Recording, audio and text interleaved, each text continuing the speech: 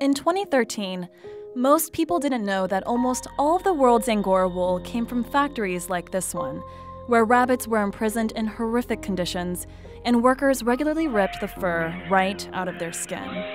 But when PETA Asia revealed undercover footage of the abuse, it changed everything. 35 clothing brands say they're going to stop using Angora. PETA and our affiliates around the world made sure millions of people saw the video. Kind people everywhere were outraged and sprang into action.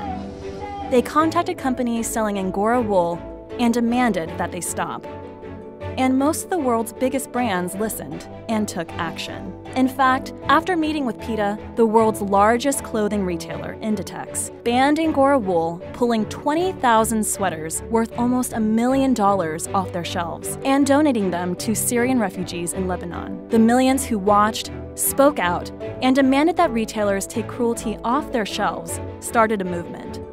The industry that once caused so much harm has been crippled and will continue to fight until all stores leave Angora behind, for good.